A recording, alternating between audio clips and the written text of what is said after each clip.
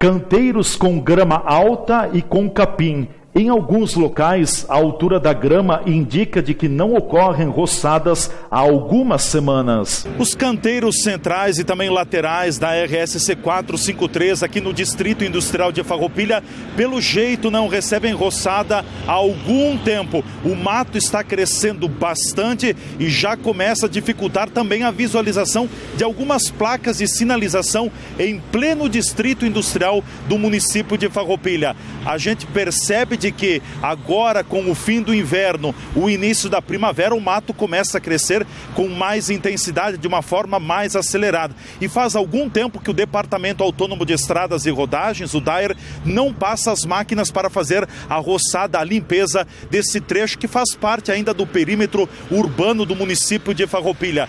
Muitos motoristas, muitos veículos que passam por aqui, transeuntes, têm reclamado do mato. Aliás, a situação também é muito parecida ou até pior no trecho entre Farroupilha e Caxias do Sul pela RS 122 e pela 453, principalmente no canteiro central, onde o mato em muitos pontos chega a atrapalhar ou cobrir parte das placas de sinalização que estão eh, colocadas então para estas duas rodovias estaduais. Mesmo com todo movimento que estas duas rodovias têm, ainda não se tem a devida atenção por parte do órgão responsável pela manutenção, que no nosso caso é o DAER. Em acessos a bairros e Farroupilha, a grama está ainda mais grande. Suas espigas já atingem uma altura considerável. Aqui junto a um dos acessos ao bairro Medianeira de Farroupilha, também no distrito industrial do nosso município, a grama está bastante alta. As espigas do capim chegam atingir até o meu joelho,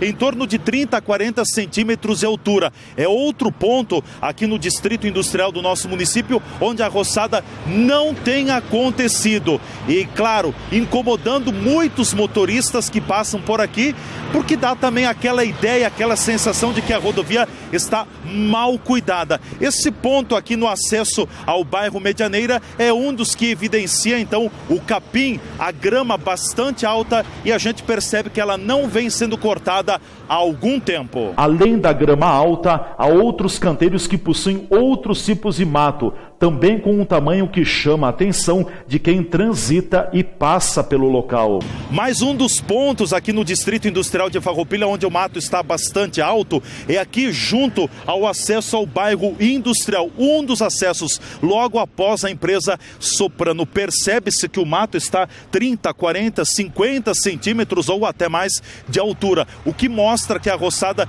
não tem acontecido nos últimos tempos por parte do Departamento Autônomo de Estradas e Rodagens, o DAER. E isso acaba deixando uma visualização bastante ruim de abandono também desses canteiros laterais aqui que dão acesso a bairros do nosso município. O trevo de acesso a Porto Alegre pela RS 122, mais conhecido como Trevo da Tramontina, o cenário dos canteiros centrais não é diferente.